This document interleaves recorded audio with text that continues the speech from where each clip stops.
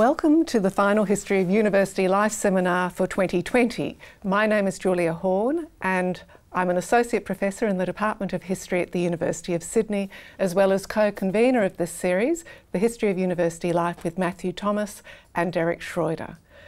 First and of course foremost, I wish to acknowledge the Gadigal people of the Eora Nation, on whose land we broadcast today, and pay respect to Gadigal elders past, present and future, because of course it's upon their ancestral lands that the University of Sydney is built. So as we share our own knowledge and research practices today, may we also pay respect to the knowledge embedded forever within the Aboriginal custodianship of country. And since today's discussion is about archiving the present for the future, May we also remember the long time injustices towards Indigenous peoples in Australia and around the world for ignoring, taking and often destroying their distinctive historical records that can be said to constitute their cultural memory. So today's seminar is about archiving crises, double entendre possibly intended, where we explore how archival and cultural collections can help make sense of life in COVID times. We'll be treated to a sneak preview of four special COVID projects, three of which deal specifically with university life. We'll briefly go back in time to the last virulent global viral pandemic, the 1919 Spanish flu, and we also have a special mystery panellist. We have four guests on our panel today. First is Nyree Morrison, who's Senior Archivist at the University of Sydney Archives and co-director of Beyond 1914, which is a digital archive and biographical project and which is about to have a offspring called Beyond 1939, which will be established in the next year. It's worth noting also, of course, that the university archives are responsible for the care and preservation of university records of permanent value. Next will be Jennifer Stanton, who's the Manager of Digital Collections at the University Library. And Jen and her team look after the Digital Collections Repository with the aim to increase digital access to university research and the library's rare and special collections for now and the future. Then I'll interview our mystery guest, Kristian Marijanovic, a first year student majoring in history and political economy. He's one of the history student representatives, along with Bella Bow, creating a special questionnaire and interview based archive called Not Your Average Survey, a student led COVID 19 archive. And finally, Richard Neville, who is Mitchell Librarian and Director of Engagement at the State Library of New South Wales. Richard has published widely on and curated many exhibitions about 19th century Australian art and society and is extensively involved in acquisition, arrangement, description and promotion of the Mitchell Library's renowned Australian research collections, including of course their new COVID collection. So today we talk about collections. As with all collecting ventures, the act of collecting is itself political in the sense of what is collected, what's not collected, what's made available, what isn't, how communities gain access to the archives, or, of course, how they might be excluded from them. All our speakers are acutely aware of these push-pull factors in creating collections and making them widely available in the digital age. As we shall hear, a particular challenge is ensuring the diversity of experience and how some communities are more represented than others. So we would like you to participate in this discussion and offer your ideas of how to reach unrepresented communities and have them document in whichever way they wish their life during COVID. So during the course of this webinar, please use the chat function located on the right of your screen to jot down your ideas and we'll use these to further the discussion in coming months. So, Of course, there's much to get through within the next 55 minutes or so. As usual, we'll begin with the presentations with the final 10 minutes or so devoted to questions. So a reminder to use the chat function during, during this webinar to jot down your uh, COVID collection ideas and thoughts and the Q&A function for any questions you might have. Now to our speakers. First we have Nyree Morrison, Senior Archivist at the University of Sydney, who will speak on pandemic collections past and present. Thanks, Julia. Um, can I have the first slide, please? Um, I'd just like to start this presentation by uh, reading a poem um, that's come from the Sydney Medical Journal, That Flu Feeling. A microscope has been stolen from the medical school. News item. I had all the symptoms, I knew them by heart, a pain at the rear of my head, in my back and my limbs and in every damn part, and my eyes felt as heavy as lead. I felt terribly crook, I had rigors galore, and my temperature rose to 104. Yes, it looked like the flu, but alas, it was more, for the magistrate said, as his eyes pierced me through, for pinching that mic, six months hard you will do. So I had all the symptoms, but minus the flu. I just wanted to put that there just in case anybody was very lucky not to experience uh, those flu symptoms so you could get an idea of how bad they were. Um, I do realise that there has actually been quite a lot of press uh, recently regarding the 1919 flu pandemic, but I thought it would be very useful to have some basic statistics on the pandemic to put into context the university's response. Can I have the next slide, please? So on the 25th of October 1918, a ship arrives in Sydney from New Zealand with infected passengers on board and all are confined at North Head Quarantine Station. On the 27th of January 1919, New South Wales officially confirms that there is a flu outbreak and Victoria confirms their outbreak the next day. From January to September 1919, 6,387 people have died from the flu in New South Wales, and there's some 290,000 people infected in metropolitan Sydney alone. By the end of 1919, the pandemic is over. The estimated death toll in Australia is over 15,000 people, with 40% of the population infected, with some Indigenous communities recording a mortality of 50%. And on a global scale, flu has infected a quarter of the world's population, killing between 50 to 100 million people. So, what exactly was the university's response to the flu pandemic? Can I have the next slide, please? So this is from the uh, university's uh, Senate annual report and it just basically outlines the effect this uh, flu had on the academic year. Um, because of the crowded conditions in the classroom, the government authorities um, mandated that masks had to be um, worn and also that um, the university was closed for five weeks in the early part of the year. Um, the time was partially made up by curtailing the June and September vacations, by rearranging the work of the second and third terms, and beholding the annual examinations I am a week later than usual. So not much difference to what the university sort of issued for um, the semesters this year. On April the 1st, 1919, the Professorial Board adopts a number of emergency measures to attempt to restrict flu on campus, and these include um, all students wearing masks within classrooms. Um, no person should attend the university if they have a temperature of over 99 degrees, um, and if they do have an attack, then they have to stay home um, until the temperature comes down for three consecutive days.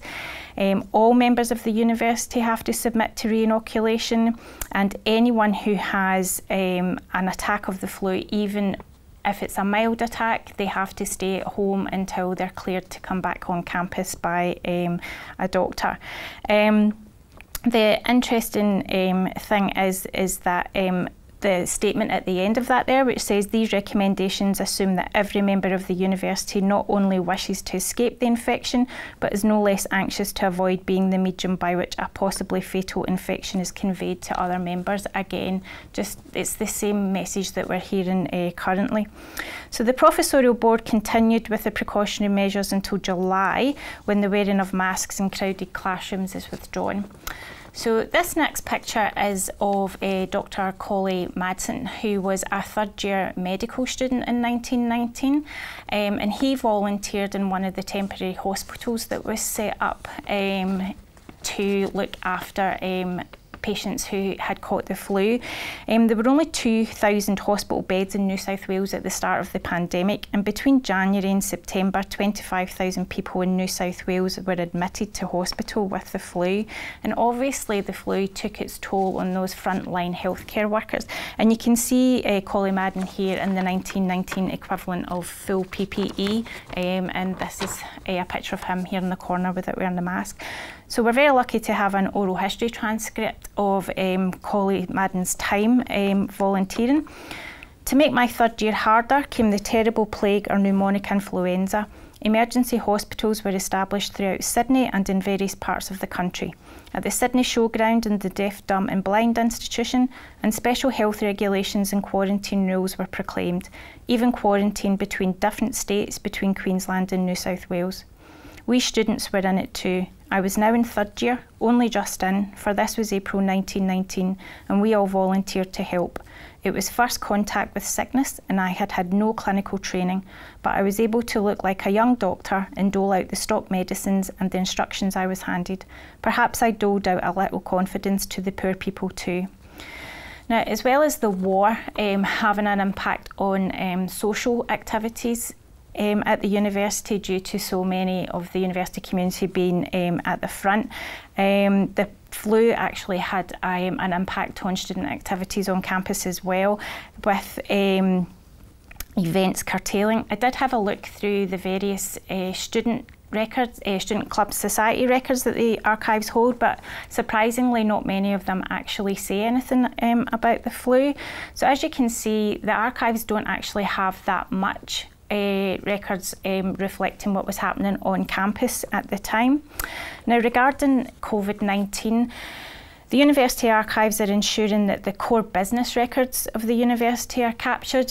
Um, this will preserve the decisions made and the university response to the pandemic um, will be retained in perpetuity. So we've been speaking to the staff who've been taking um, the records for the pandemic response team and the crisis management team and ensuring that the staff emails that have been sent from the Vice-Chancellor with updates um, have been captured. Archive staff have been on campus um, in the odd day between um, May and June, and just some of the photographs that you're seeing here um, we took. Um, and you can see, just see how desolate the campus looks um, at the time. These notice boards are usually full of um, notices for events and you know just get-togethers, debates, that sort of thing, and they're um, they're empty because nothing was happening. Um, and on the next slide, um, which is actually my favourite, that's the notice on the Great Hall door, basically saying that graduations have been cancelled until further notice. So thank you. Thank you, Nyree. I have a follow up question which um, actually just pursues that notion of digitisation. Um, digitisation, of course, changes the nature of the archives, and that's a huge topic, and I don't expect you to address or answer that right now. But I did wonder if you could explain just some aspects of going digital which either excite or worry you. Uh, exciting is the availability of a much wider audience to access the archives um, and just the engagement with communities. They can add tags, they can um, add content, they can suggest different spelling, they can identify people, but the availability is only uh, there for people who actually have access to technology. So, coming back to your point of a disadvantage to communities or people who are in remote areas who don't have access to that technology, then they won't have access to the digital archive.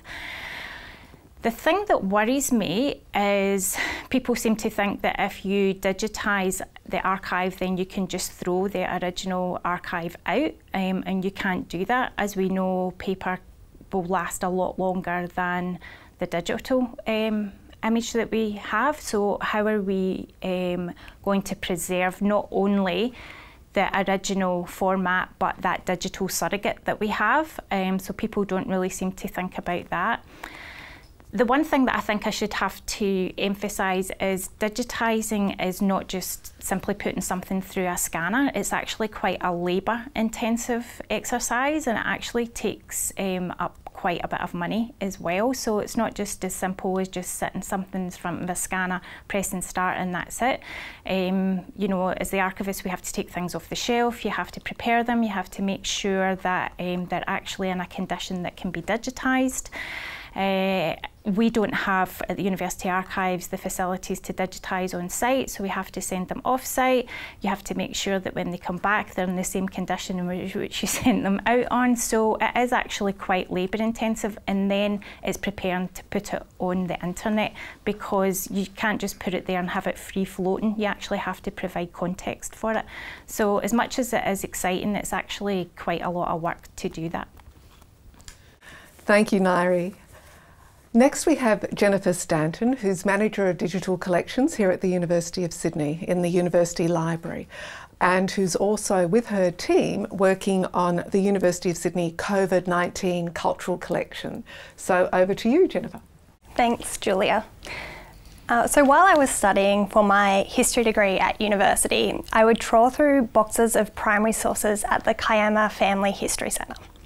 One particular thing I remember is going through pages and pages of documents about the creation of the Kiama War Memorial. These sources added richness to my work and gave me a more solid understanding and appreciation of what was happening at the time. Personally, I'm grateful for the collecting that has been done in the past for what it allows us to know and learn from in the current day. In April this year, not too long after we were told to work from home, it began to be very clear that we had the opportunity to collect university history about a time period that would undoubtedly be researched, discussed, and tweeted about from now and for a long time into the future. We began to plan for collecting COVID 19. It was by no means my idea. I had seen this be discussed in various forums and implemented by the State Library of New South Wales and Cambridge University but I was in a position to be able to do something about it at the University of Sydney. Thankfully, my managers agreed and the library launched the Collecting COVID 19 project in May. So, through Collecting COVID 19, we're asking for help from university staff and students to collect content relating to COVID 19 and the University of Sydney. We'd like this to be used for future research, teaching, and for public interest. We want to preserve and make accessible meaningful information that will depict how the University of Sydney community was impacted collectively and individually. The University of Sydney is a diverse community and the COVID 19 pandemic has had a varying impact on each of us. Collecting our stories, photos, artworks, and recordings will document what happened. It will help us learn about the impact of processes and policies and the actions that were taken. I hope it will also reflect the resilience of us as individuals and as a community. We have a variety of items submitted to the collection so far, and I would love to share some of these with you. First slide, please. I really like the idea of noticeboard bark, which is obviously a popular one. Um, this was submitted by Somaya Langley, and the usually full notice boards have been stripped back to stubs of paper. Next slide. Photos submitted also show the different signage that has popped up around campus. Depending on when the photos were taken, you can watch the strengthening and then easing of COVID 19 restrictions through these images. Now, one of the hardest items to get into the collection, but something I've been particularly keen on collecting, are personal reflections. Having a person document how something happened or how they felt during this time is incredibly meaningful, and trying to capture this in a few years' time will wear away the authenticity of the situation. One of the biggest barriers is that people don't think that their story is worth telling, or they think it's insignificant. However, this really isn't true. All stories about the impact of COVID 19 are worth capturing to show how it changed our, changed our lives for a short or long period, and there really is no right or wrong answer. To push what might be a hard sell, I've personally found it quite cathartic to take some time to reflect on what has happened and how far we've come since the start of the pandemic. Next slide. Professor Jane Hanrahan from Sydney Pharmacy School donated a reflection of the Faculty of Medicine and Health student-led interprofessional influenza vaccination clinic, which details the necessity and success of the clinic, but also the difficulties of doing so during a pandemic. In Jane's reflection, she observed that we were a little short on hand sanitizer, which by this time was pretty much unavailable across the country. However, our secret stash, stash of hand sanitizer, it was almost worth more than gold at this point, left over from the vaccination training course, was supplemented with some World Health Organization recipe hand sanitizer. The WHO Home Brew hand sanitizer was kindly donated by School of Pharmacy professional officer Chris Hick, who had developed a side hustle making it for many schools in FMH. Next slide. Cheyenne Quinlan donated a reflection about being a PhD student, mother, and woman in academia during COVID 19. In her reflection, Cheyenne writes Zoom became a verb, meeting after meeting online, hellish for many, but for the previously isolated students like me, a balm to long isolation and loneliness. This drove me to look for the same for others. I pushed to and relaunched the HDRP Mentor program faculty wide. In two weeks, nearly 90 fellow HDR students have signed up, all reaching out for support, connection, and relevance. Many of whom are women, we are needing each other. Next slide, please. The now University librarian Philip Kent details what it was like to move from the UK, where he was University librarian at Bristol, to Sydney to take up his new role during the pandemic. Philip wrote, Early on the morning of Friday, 27th of March 2020, a car took me to London Heathrow in order to catch the final, the final Qantas flight to Australia. The potency of the situation was affirmed when my driver told me that their well known transfer service was closing and I was his last job for the foreseeable future. Heathrow was unlike the bustling, fun, and buoyant environment I have known so well. It was sombre, people were trying to find distant seats and limited food and to quell the crying children. I think these examples demonstrate just how powerful personal reflections are in capturing our experiences during the COVID 19 pandemic. We have also had some donations of creative works, and it's really been an absolute honour to accept these items into the collection. Olivia Oliver Hopkins, a final year master's student, was encouraged by her teacher to share with her class how she felt through the pandemic, which she did so in a poem. Olivia wrote, There's a certain order in pruning, newly discovered, that I love. Perhaps it's the ability to control nature, while outside it controls me.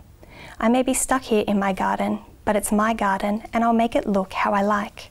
So I prune the lily pillies, walking in a line, almost marching, ruthlessly clipping any leaf out of place, enjoying the sharp snip of the secateurs as they flash in the late afternoon sun. Next slide, please.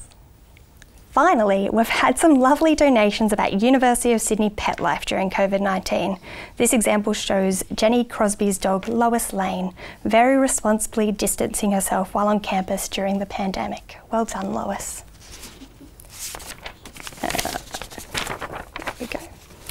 Um, now, while we have had some wonderful donations so far, we would love to have a lot more from anyone who is part of the university. At the moment, the collection is really missing the voice of students and teaching staff. We are hoping to have some time to do active collecting in order to build up a collection that truly tells the story of the University of Sydney during the COVID 19 pandemic. Next year, we will start to curate the collection to make it available to the public later in 2021.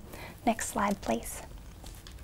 Now, if you have anything that you would like to submit to the collection, you can head to the Collecting COVID-19 project website and submit directly to our digital digital collections repository. Alternatively, you can get in, in touch with us via email. Thank you. Thank you, Jen, very much for that. And uh, those those URLs will be repeated at the end of um, of our session today, so don't despair. So now our mystery guest, and I just say mystery because, of course, um, you thought that we only had three panellists on this session. So our mystery guest is Kristian Marijanovic, who's a first year student who found himself, along with Bella Bow from um, the History Department student um, representative group, to be part of a collecting team, I think it is, which um, has collected both questionnaires and interviews, and which is going to head to Jen's collection. Um, so you will soon be getting actually, Jen, some some uh, recollections of student as well as staff life. So welcome, Kristian. I'm really delighted that um, you're brave enough to front up to, with us today. so your project with Bella and a couple of other volunteers, um, you've cleverly called not Your Average Survey, a student led COVID 19 archive, and it constitutes over 130 in depth questionnaires and about 10 hours of interview. So I wondered if you could, first of all, provide some quick stats, perhaps, on who responded, you know, the demographics, as it were, of the group. Yeah, sure. So um, we had um, about three quarters of um, respondents that were female, um, other 22% male. Um, from the different like faculties and departments, we had um, was it 45% were from the Faculty of Arts and Social Sciences from FASS, and about 30% really not applicable. They were just staff members. 40% of all respondents we got, the 139, were students. Nine, only 9% of those were international though. Only 18% of those were part-time students, 77% were non-honours students, and 73% were undergraduate. But although we had a lot of those, problem with that though was that a lot of them really provided relatively short responses. Um, also, of total response, apart from students, we had 47% of respondents were non-academic staff and another 12% were academic.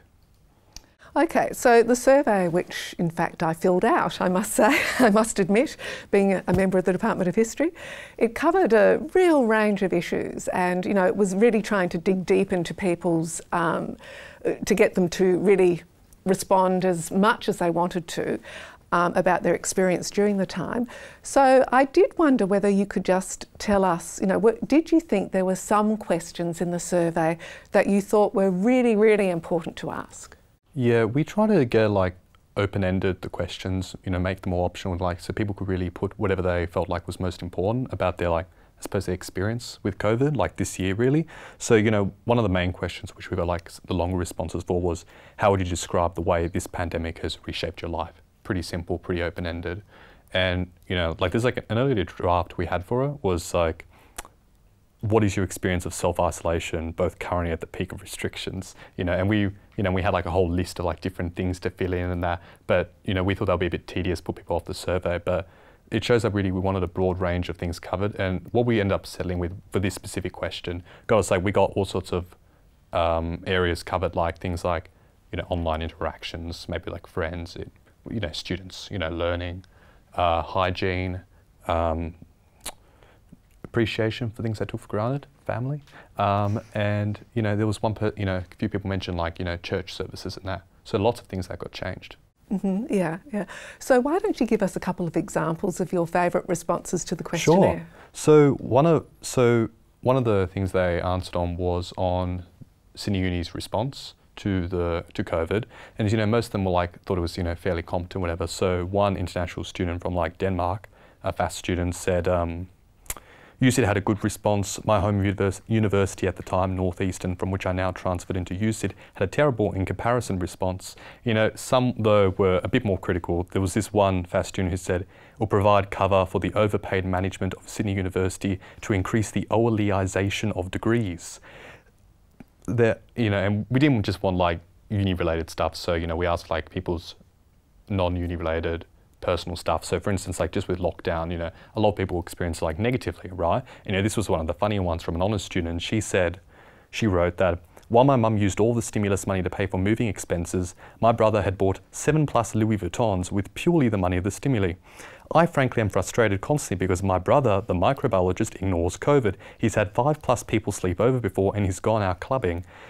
And, you know, some, you know, um, not, as funny, um, but you know, more positive, you know, experience of, I suppose, COVID lockdown was, you know, apart from missing physical contact with colleagues, the work experience has been almost exactly the same as it would be in person. Yeah, it's interesting. It's interesting. Um, now, as I said, you have about 10 hours of interviews.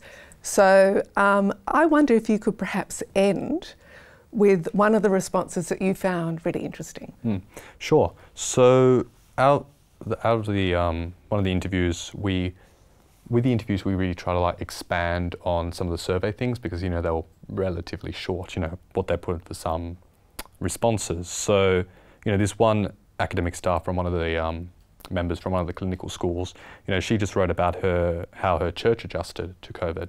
And you know, she wrote quite, you know, was a bit brief with the survey. She wrote that, you know, we are part of a local church community and had to change to meeting by Zoom on Sunday mornings and Wednesday evenings, Bible study. Some older members found the technology challenging, and she wrote church by Zoom in like another question. But in the interview, she expanded a bit on that. So this is part of that. So it's our local church at Beecroft. It's called Beecroft Presbyterian Church. It's just an ordinary church there, but we've been active members since we've lived in Beecroft and we're actually involved in that. We've both been very involved in church leadership roles there. The church went to having Zoom services and that was quite a lot of work. You couldn't all do singing together, so what they did is have a pre-recorded hymn. The good quality ones around, so I'll be singing at home. I'm normally one of the lead singers because I like singing. Music's one of my things, so it's been really hard. So when you're at home, you can sing, but when you're there in person, So you know what I do? I do percussion with my feet, with my hands, and I hum and I feel frustrated. It's really funny. And I have an older friend who's a really amazing musician, it's really important for her faith to be able to express herself through music and through singing. She was actually a chaplain for many years and she used to sing to people as part of a chaplaincy and she does it beautifully and she can't do that and that's really hard for her. I think that's an interesting thing to try to capture. How did place of worship, how, how they have adapted our cultural expressions of who we are and of our faith and how we do things have changed dramatically. I personally believe that our faith, faith expressions are really important to who we are as human beings. You know, and that sort of stuff like you couldn't get that same depth just like a survey. Yeah, yeah, yeah. No, it's a wonderful project and congratulations to you both. Um, so thank you. So finally, we have Richard Neville, Mitchell Librarian at the State Library of New South Wales, who'll speak on the State Library of New South Wales COVID-19 collecting drive. So over to Richard. Good afternoon. My name is Richard Neville and I am the Mitchell Librarian at the State Library of New South Wales. And today I'm going to be outlining how the library has approached the collecting of COVID-19. Clearly libraries such as our state libraries and indeed the National Library are the main repositories of the documentary history and heritage of this country. And when uh, you know, we, the State Library of New South Wales, for instance, has been doing this really since the 1880s. I think now, perhaps in a more sophisticated way than we did at the outset, the library's initial collection focus was very much the description of the Anglo-European history of Australia. Probably since the 1960s and 70s, we have tried to ensure that we collect the diversity of Australian experience along with and in partnership with fellow state libraries and the National Library. When COVID struck in, uh, in early 2020, so two things informed our approaches.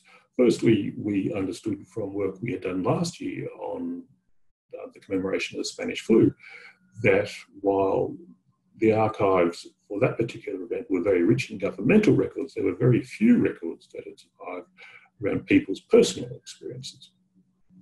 So really right from the get-go, this library lockdown on March the 23rd. All the state libraries came together and with the National Library to talk about how we were going to approach the documentation of this particular crisis. Uh, initially, it was decided to take a kind of citizen collecting approach. So we all asked our readers to contribute ephemera that they may have found in their letterboxes or you know, seen around their shops and so on, to bring that into the library. Uh, we uh, to contribute to their library collections. We initiated two online projects. The first, which went up very quickly in early April, was an Instagram feed called New South Wales at Home. The idea behind that was that people could uh, take photos of their new circumstances. So obviously, um, the kitchen table became the new workspace, etc. And they could contribute those photos with the hashtag New South Wales at Home and the library pledged to ensure that this archive would be maintained forevermore. The second thing we initiated was a project called the Diary Files, and the idea behind the Diary Files, which was developed by the library's own DX Lab, was that it was a kind of online platform where people could write up to 300 word entries, like putting it into their own, into it was kind of like an electronic journal, and you could contribute as many entries as you liked. Um, a lot of people in a lot of school children obviously set tasks by their teachers to write diary entries, and that was very interesting perspective from children. Uh, one young man from Putland, who was in the Cobham Correctional Centre, was very concerned that he would struggle to get out of the centre if he had to appear before a magistrate online. He thought he had a much better chance if he could appear before him in person. Um, but a lot of the entries were, in, to a certain extent, kind of slightly positive in the sense that people were saying, oh, you know, it's been an opportunity to wind down, to step back from the busy life, get off the treadmill, etc.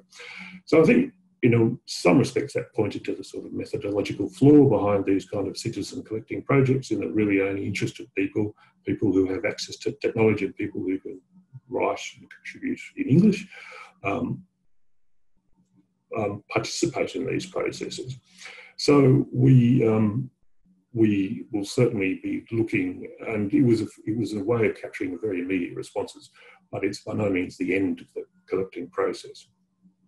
Um, very early on, uh, Wendy Sharpe, who's a very well-known Australian artist, approached us with her uh, Corona diary, Uh, it's a concertina diary about five metres long. And that was her way of trying to respond to the psychological impact of lockdown. And a lot of these projects got a lot of traction at the very beginning of lockdown, and I suppose we've seen a, a tailing off of interest as, as restrictions have been gradually eased. But we didn't, you know, her diary is not a literal representation of what was happening, but it does, it is a document of an emotional and a kind of intellectual response to the virus. The most obvious form of documentation for the virus has, of course, been photography. Uh, we have uh, been approached by photographers like John Jansen Moore, uh, Dean Saffron, Tom Williams, to uh, who have recorded the kind of familiar images that we now know of deserted streets, um, testing clinics, uh, places shut down, uh, and so on. So, I mean, that has been a very important part of what we are doing. A lot of what we have thus far has been focused very much on uh, Sydney, and we obviously need to ensure that our representation moves beyond Sydney into the more broader, into across New South Wales. I mean, interestingly, photography, uh, we just initiated at the end of December and into January a, a major project to document Australia, the bushfires that had struck us that devastated New South Wales and Victoria over the summer. Uh, we've kind of had to put that on hold a bit while we've approached the COVID, dealt with COVID. But I think in the longer term, uh, what we see as we contribute, as, as, the state libraries around the country contribute, uh, we're beginning to build a quite um, we're the foundation of a rich picture of what COVID means. Uh, we, the National Library, importantly, takes six-week snapshots of the .au web domain. So throughout the throughout the pandemic, we will have a, a, a, kind of slice of time every six weeks of how the web has responded to um, the pandemic. We do collect social media uh, tweets. So we have a system called Vizie, which is a CSIRO product, enables us to collect social media around the uh, pandemic. But I think what we would say is that we're at the foundation, we're at the beginning, we're by no means at the end of the process. We have to be very clear about the importance of us um, engaging uh, with the diverse communities. We don't really, as yet, have much evidence of people who've lost their jobs, of uh, communities outside Sydney, particularly. We don't yet have evidence of uh, culturally diverse communities who wouldn't normally interact with us. Um, we really, uh, and we, so I think in the longer term, that will be an area we are aiming at dealing with and ensuring that we record. Um, COVID also is something that's going to be with us. The impact will be with us for decades, presumably. And so we will continue to keep an eye on it as a very important stream of our many strands of collecting. Uh, we certainly don't see this as being the, the, end of the process as we move towards the end of the pandemic, if all these vaccines and so on kick in.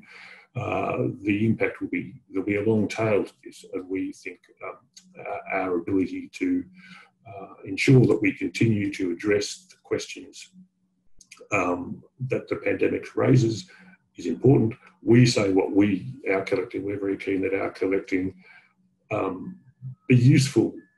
The kind of mantra or our kind of assessment tool is to say, well, what will a researcher make of this in 100 years' time? And that's the kind of time frame we're working in. When we take something into our collection, we're taking it in permanently forever. And so we do, um, collecting is a cost, everything we acquire, we have to then continue to pay for. So we make some pretty hard decisions around these, but I think we understand, we as the State Library, but also I think all our colleagues around the nation, that this process is by no means finished and that we uh, will be forever looking at new ways to uh, understand the impact of the pandemic and record its um, its impact across the diversity of our communities. And um, for us, that's a, a, kind of key mandate. Um, so thank you. So thank you very much, Richard. And we'll now welcome you back because you did mention the diary files. And I wondered if you could give us a couple of examples, if you had some to read out. Yes, um, the diary files was a, very popular, particularly at the beginning of the pandemic, and people I mean, you've been talking about trying to get uh, people's reflections of their experiences, and so that's what it was interesting for. So, for instance, Linda, who lived in Bonny Hills, writes, My family and I live in a beautiful seaside village named Bonny Hills on the New South Wales mid north coast. Sounds idyllic. Well, yes, it was until COVID 19 hit our community. I had a contract job working for TAFE in Port Macquarie and had been doing this for the past eight months. My 10 week contract was meant to be renewed at the end of March. COVID took my job away. I applied for a job seeker and was fortunate to get that, including the extra $550 COVID payment. It kept our finances afloat, but we ended up dipping into our savings just to pay for the basics. Ending work gave me plenty of time. I was able to walk, jog, run on the beach every day with my dog. Friends and acquaintances would stop to chat, but we all stayed apart by at least 1.5 metres. It felt weird and life was pretty boring as we just stayed at home, went walking, or went to Woolies to buy food. And I think that was a kind of fairly typical reflection of many people, the sense that they were pulling back from uh, life as it was, but also sort of trying to embrace uh, some of the, trying to embrace the positives. And I suppose that's also the point that in this diary files, we don't get many people whose circumstances were really challenged. But um, another one, which was really, we, uh, a, teacher at the Cobham Correctional Centre had her students who were actually um, not very, you know, they were young students in, uh, in effectively in jail. Um, and so she used this as an exercise to have them write, and the kind of the uh, incentive to the to the little challenge was that they're going to have their reflections published in the diary files. So they're all young teenagers. So uh, student L, obviously these are anonymous, uh, said, I'm a 15 year old boy and I am in lock up in lockdown. I've been trying to show my family how to use this Zoom app, but my family are too old to use the app. Because we're not allowed to visit, uh, we're not allowed visits or can't even see my friends or brothers or sisters. You can't even get toilet paper uh, nowhere. You have to wait till they restock. I can't go to court because of COVID 19. I think I have a better chance of getting out while I'm in front of the judge. When I was in my room, I was uh, put all of I was put all of my items in my pillowcase and work on my arms. When I'm in lockdown, I have been thinking about my family and mates. So, um, you know, it's a kind of they're the kinds of reflections I think that I mean everyone is quite keen to see. And uh, one of your comments uh, was talking about the diversity. You know, sort of are we getting gay and lesbian, indigenous? Um, so obviously, uh, people in lockdown or in jails and so on. We just the idea behind a state library is the breadth of the collecting and the uh, kind of the trying to address an entire community. So uh, diary files is one way of trying to do that, I suppose. Yeah, thank you. Uh, you know, really evocative, um, two very evocative pieces there. So thank you for sharing those. Uh, so we now move to the final part of the session.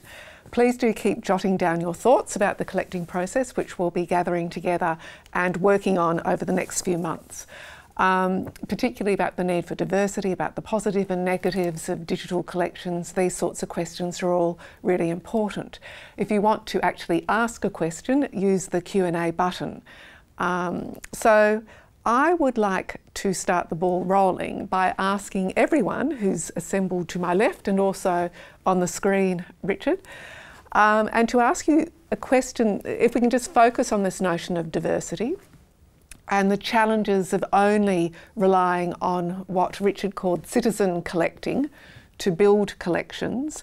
There is a need, as I think you all noted, to ensure that these collections capture experiences from a wide range of people and communities. So, at this early stage of the collecting process, are there communities you would specifically like to target which may otherwise go unnoticed and unrecorded? And I suppose I'd like to extend that by asking is this where our, our collecting institutions should become archival activists? That's a word that's gained a bit of currency over the last decade or so. And how do you do this? So perhaps, um, Jen, since I didn't give you a follow up question before, perhaps you could answer that um, are you thinking there are particular communities within the university who you now want to go out and you know, get some of their stories and how much you encourage them. Yes, so absolutely. Um, in terms of sort of categories within the university, um, as I mentioned before, looking at undergraduate students and looking at teaching staff and hopefully to capture some of their experiences. But if we're going for more cultural diversity, um, I mean, I would love to have um, entries and different perspectives from every different culture at the university if possible. And I think um, one particular way of targeting that would be to go to international students. Um, I think one of the difficulties uh, in my role and where I am, where I'm not, um, I'm not student or even staff facing. Really, it's trying to find the right ways to approach and trying to find the right communication channels for that. Um, so absolutely, we want to go out and um, I'm, I'm, hoping that we'll get some submissions from some First Nations people as well. Um, one of the things I was thinking about and uh, thinking about this in relation to the importance of how you set up collections is that if you are looking to get a diverse collection, the importance of making sure you don't make decisions like uh, we only take submissions in English and to try and make your collection as welcoming as possible and that you're going to take care of that collection and manage things responsibly. So yes, we are hoping to go out and um, get a lot more things from a really diverse community. Um, it's just a matter of working out how to, how to reach everyone to give them that opportunity. So, Nyree, I wondered if, since you're obviously University Archives is a little bit different in that you're not going out collecting, you rely on people, on departments often to give you the records. But is there something here where you think there does need to be a bit of the activist archivist um, in collecting things which you might not otherwise have got through ordinary uh, modes of deposit? Um, yeah, I think I have to agree with Jen here um, and just trying to get especially the international um, students just hearing that voice because that's missing from the archive at the minute. Um, that student experience and just yeah, how do you encourage people? And what Richard was saying earlier as well at the beginning, people are interested in doing that and then it sort of tails off. But how is the pandemic affecting everybody in the long term? So um, I, I, I don't know, it's like a collaborative approach between the archives and the library and how we can encourage people and how you maintain that enthusiasm and it doesn't tail off but encourage them to participate in what they've collected and um, to share it in such a way, just what I was saying earlier, the excitement and how can you get people to collaborate? How would we, how would they want to share their experiences? Mm -hmm. Yeah. Um, Richard, did you want to add to that? I mean, I think, you know, there's often a sense that we have to do it all now and we have to resolve these kind of questions now. And often, you know, with the gay and lesbian archives, for instance, which we began to collect kind of big time in the 1990s, um, they took ages to develop and to form into really substantial collections. And now we've got a great little exhibition on about coming out in the 1970s. And that was built on just really decades of collecting. So um, I think this sense that you know there are individual there are individual responses, but there are also organisational responses. So there will be um, committee, you know, organisations who are looking after homeless people or looking after First Nations people. And those kind of organisational archives are really important too. So it's not only the personal voice, it's actually the, the, the sort of the range of people who are dealing with both personally and organisationally that we need to be looking at. And I, you know, we try to be an activist in one sense. Um, it's a bit hard for sort of, you know, people obviously sometimes see us as kind of particularly First Nations people, who see us as a very colonial organisation, you just have to look at our, our shop front, which is the porticos of the Mitchell Library. It's a pretty intimidating kind of space. So we've got work to do there, but we do try and get into spaces where we feel we're going to make connections. But nor you can't force it either. It's often an organic and it's based on trust and relationships. And so, you know, it's often it's it's a time. Hmm. Yeah, thank you, thank you. There are a couple of comments that I'll draw people's attention to which I've been sent. So one uh, says, I think it would be interesting to collect what people think may be different about the future, which COVID changes will persist, persist or which mightn't be. So, uh, and how will changes affect our trajectory long term? Um, it's a particularly potent question, I think, given universities have in some way this year been under so much attack. So um, there's one suggestion. Um, and there's another request, uh, which is, you know, is it possible to collect portraits of people in their work from home, in their work from home spaces? What's the new acronym? WFH, isn't it? Which I always confuse with the other one, WT, whatever it is. Anyway, um, so ideally surrounded by piles of laundry. Um, I mean, in my case, um, I ended up be, you know, working at the kitchen table and actually in the end wrote a letter to my head of school saying, could I please come into my office so I can actually get some work done because I've got such a sore neck and there's so much noise here from others working at home. Um, so in other words, photos from moments in history fascinate uh, the writer of this comment and convey so much without actually needing words. So I think that's a comment to keep the photographic archive um, up. So um, the other thing I wanted to really ask is that, of course, much of the COVID archive you are all creating is, with the possible exception of Nyree in the future, is digital. And I wondered if we could all perhaps just reflect briefly. Um, does this mean that the physical archive, that COVID is going to be one of these um, moments in history where the physical archive no longer has relevance? Um, or is, there, is the physical archive still really vital in historical memory? So I just thought I might uh, you know, start with you, Kristian, to, since you're a user of the digital archive, and you certainly were in first semester when you had no access to any libraries, they were all shut. So perhaps you might just reflect briefly on your experience of that and what you would tell. You have here assembled experts in the field, so give them some advice sure. from a user's um, point of view. So See, I'm only like a first year student, so I don't have, you know, history system. I don't have too much experience with the archives that, but there's one of these, um, one of the units I picked up was a history workshop, and you know, you look through like um, a certain like topic like intensively, um, and you know, what the one I ended up doing was like um, the shanty towns in like the Great Depression in La Perouse, right, in Sydney. And you know, for that, I remember there was this one stack, well, a virtual stack, but like like 260 or something, like photos of like different documents from her, and which was, I remember going through them. It was a bit of a, I'm not sure if it was a pain because it was just, you know, lots of war and government documents, or because it was digital, but digital was definitely part of it. So, you know, this whole like idea that like archives can be solely digital. Like I, I kind of saw it as well because with um, I, I, read some time ago that Obama's um, presidential um, center is not actually like a presidential library like the old ones. They have all the you know archives there on site. You know, it's going to be all digital. It was like kind of style like you know for like the first digital president or something like that.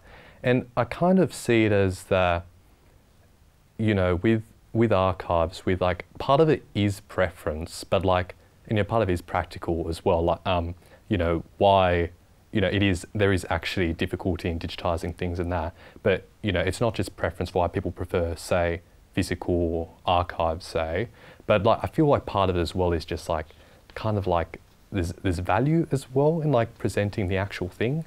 It's like you know, same to a museum or that, same yeah, same to a museum or that. So there, there's like, I mean, there's some merit, I suppose, in like talking about like digital archives, but I feel like there should still be a physical archive available for people to access, really. So, Nyree. Can I say something here? Um, research has shown that when you digitise things, people will still want to come into the archive or the library or go to the museum and actually look at the object. Because when you digitise something, you will enhance it for that digital access. So you will brighten it up. You um, a, dark oil painting, for example, or um, where there has been writing in the old, um, really thin onion paper and the ink has went right through you can sharpen that and so people then might sort of think oh well I would really like to come in and look at that and then when they look at it they actually see that it's not what it was digitally um, so yeah people will have that it's there but they still actually want to look at it. They want to, if they can, if they're in the archives, like, you know, touch it. Some people want to smell things, you know. So I think um, making things digitally available will not take away people's desire to actually look, feel, touch, read um, in person. So I don't think it will ever replace the actual physical items. Richard? Yeah, I think, I mean, we don't really see the, dis- because obviously these days, I mean, none of us as people would actually write letters anymore. I mean, there's no, we don't have paper archives anymore. So, I mean, we're pretty agnostic about it in the sense that what we think our primary aim or, you know, the thing we need to do is to provide access to these digital archives. And so we are increasingly getting hard disks of people's hard disks of emails and whatever. Um, so our challenge is how you preserve that into the future. I mean, ironically, it's much easier to preserve a book than it is digital file. And um, you know, should someone doing Julia Horne's emails in 2100 be looking at it on its Gmail circa 2020, or will our preservation techniques mean they'll be looking at it in some other completely different format, which in a way is a physical kind of manifestation of it. So that, that I mean, we spend increasingly, this library probably spends three or about 500, 600,000 dollars a year on digital storage because we keep things in triplicate so that, but you know, it's vastly, it is becoming expensive, but it's also um, just what we now collect. Uh, there are challenges making it accessible because rights are harder to manage. Um, do you access it in the reading room, or if it's digital, why can't you access it at home and um, on your computer at home? So that it's throwing up all sorts of interesting questions. We do find that people love coming in and they do like seeing original things, and the original is almost more valuable because they've observed it on the screen and you you know you show it to is that the real thing, and they can't quite believe that behind the digital is actually a real thing. But um, I think it's just you know, in 100, in 50, 20 years' time, probably most of what we're collecting will be digital, and that's just the archive. And we'll be dealing with a hybrid kind of model of yeah. well, can, digital. And, yeah. Richard, I can assure you that my emails are not worthwhile collecting, so you're safe there. But if we, uh, we're just running out of time, so we're about to run out of time, and I'd like to uh, give Jen the last word. So, as as the manager of digital collections, what's your response to that? Just briefly. Uh, so, look, my team is currently digitising a 130 foot Torah scroll that is never going to be appreciated in digital as it would um, in person uh, in saying that digital collections open up a collection, they increase access to it, they enable someone who can't afford to travel to Australia to be able to access it. Digital collections are incredibly important because so many things are digital now. Um, but while there's still physical things in the world, there's going to be physical archives and they're just as important. Well, thank you very much for that, uh, those words of wisdom at the end. uh, look, thank you to my guests today, and as always, thank you to our appreciative audience. Um, this last six months has really been a great journey, both for Matthew, Thomas, my co convenor, and myself, as we turned History of University Life, which has been going for about 10 years or so, into a webinar. Um, so what I'm saying is that that brings us to the end not only of this seminar but also to the end of this special History of University Life 2020 series. We do hope to be back in one form or another, depending on the government, I guess, in 2021. But in the meantime, thank you for your support and also the best of end of year greetings to you all. Thank you.